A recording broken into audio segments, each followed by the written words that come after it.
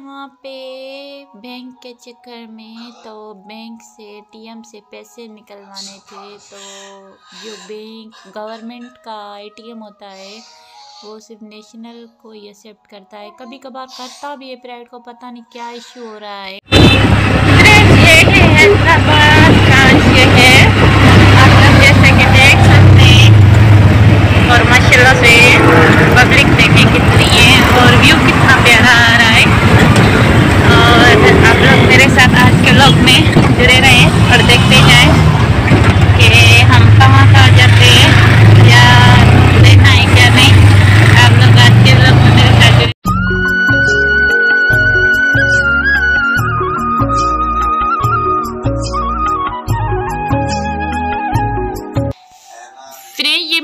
पीछे आप लोग व्यू देखे, कितना प्यारा है। और अभी ये शेड आ रहा है शेड की वजह से क्लियर नहीं आ रहा। धूप है बार बहुत ज़्यादा, इतनी तो कुछ गर्मी है। मैं आप लोगों को क्या बताऊँ? फ्रेंड्स ये देखें जोकर खड़ा हुआ है। आप लोग देख सकते हैं, जैसे कि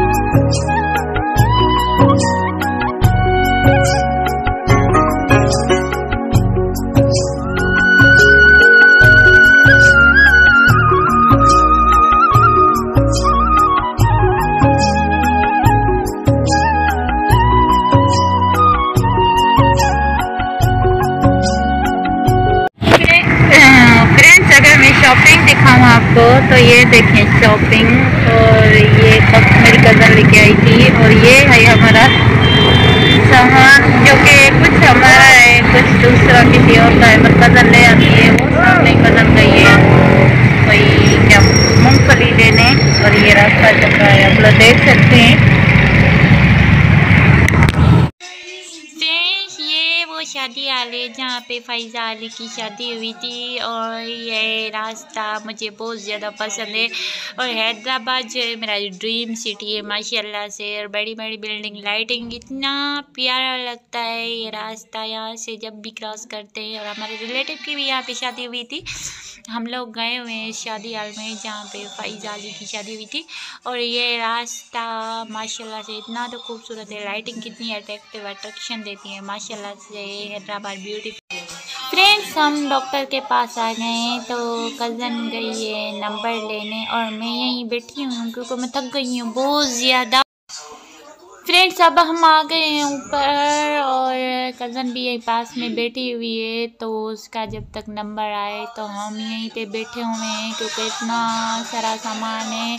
हम फ़र्स्ट टाइम लोकल आए थे और वैसे तो हम नहीं आते, कार में ही आते हैं। मैं तो अपनी लाइफ में फ़र्स्ट टाइम ही आई हूँ और माशाल्लाह से ये जगह बहुत अच्छी है। मुझे बैठने के लिए बहुत अच्छा लग रहा है, सुकून मिल रहा है, माशा हम आ गए हैं अलफजर पे रेस्टोरेंट में और ये हमने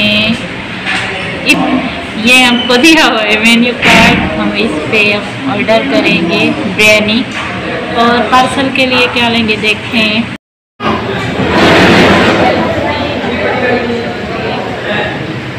बिरयानी का ऑर्डर दे दिया है तब तक आप लोग मुझे देखते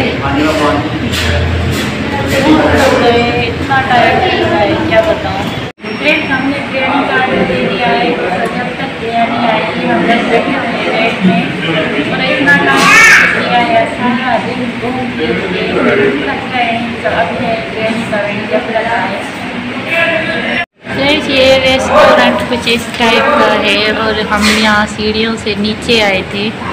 ये ज़मीन पे बना हुआ है। नीचे आ गया है तो अब हम बस खाना खा के निकलेंगे और ये हमने बिरयानी ऑर्डर की थी तो हमारी बिरयानी आ गई है और आप लोग खाएँ तो बेस्ट फ्रेंड्स